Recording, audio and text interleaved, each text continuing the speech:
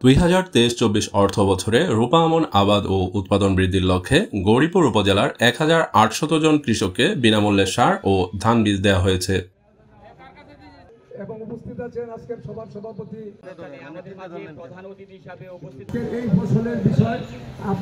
বৃহস্পতিবার বিকেলে উপজেলা কৃষি অফিস চত্বরে আয়োজিত অনুষ্ঠানে প্রধান অতিথি থেকে সংসদ সদস্য অ্যাডভোকেট নীলফার পপি এই সার বীজ বিতরণ কর্মসূচির উদ্বোধন করেন। সরকার কিন্তু আপনাদেরকে উন্নত জাতের বীজ সার, কীটনাশক সব দিতেছে। দিয়া সাইরে আপনাদের ফসল যাতে সুন্দর হয়, উৎপাদন যাতে বাড়ে, কারণ জমি কমতেছে না। এখন কম জমিতে যাতে আমাদের বেশি বেশি ফসল হয়, আমাদের মানে আর কিছু থাক আর না থাকুক, ঘরের জন্য খাবারটা থাকে। সেই হিসাবে কিন্তু সরকারের চেষ্টার কোনো কমতি নাই, আছে? আচ্ছা তাইলে যেটা হবে, আমরা শুধু এই ধান না, আমরা আলু, কৃষিজাত দ্রব্য, অন্য যা কিছু আছে সব কিছুতেই আমরা এমনভাবে কাজ করব যেন আমাদের গৌরীপুরটা খাদ্যে, সবজিতে, শস্যে স্বয়ংসম্পূর্ণ হয়। যেন আমরা আমাদের নিজেদের প্রয়োজন মিটাইয়াও কিছু উদ্বৃত্ত বাইরে অন্য উপজেলায় পাঠাইতে পারি।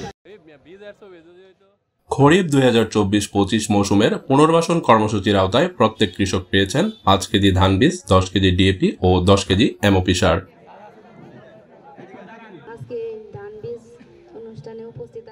উপজেলা নির্বাহী অফিসার মোহাম্মদ শাকিল আহমেদের সভাপতিত্বে উদ্বোধনী অনুষ্ঠানে স্বাগত বক্তব্য দেন উপজেলা কৃষি অফিসার দিলোফার ইয়াসমিন জলি।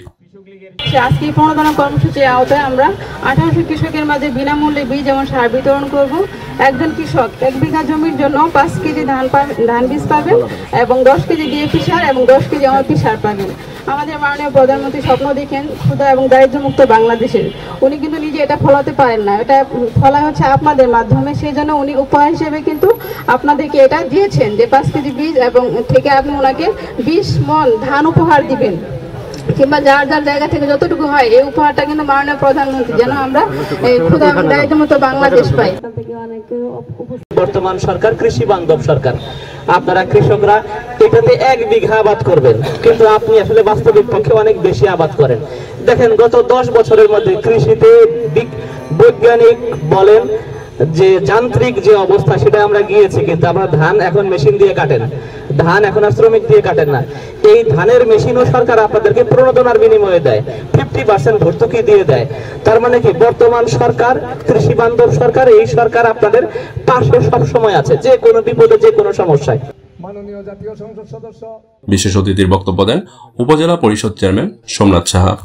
আজকে আপনারা জানেন যে মাননীয় প্রধানমন্ত্রী এটা বিনামূল্যে কৃষকদের মাঝে দিয়ে থাকেন যেন কৃষকরা সুন্দরভাবে ফলনের মাধ্যমে আমরা আগামী দিনে খাদ্য স্বয়ং সম্পূর্ণ হতে পারি এবং পাশাপাশি আমাদের যে জাতির জনক বঙ্গবন্ধু, যে সোনার বাংলা স্বপ্ন দেখতেন, আমাদের মাননীয় প্রধানমন্ত্রী সেই সোনার বাংলা গড়ার লক্ষ্যে তিনি কাজ করে যাচ্ছেন।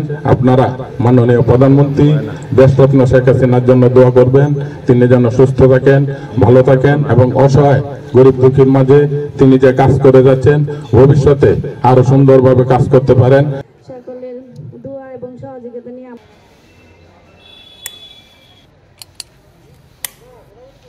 ছবি হইলে ভালো হইতো।